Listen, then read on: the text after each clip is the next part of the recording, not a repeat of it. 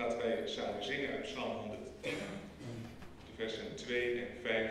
Zingen we samen met de oudere kinderen die het in de afgelopen week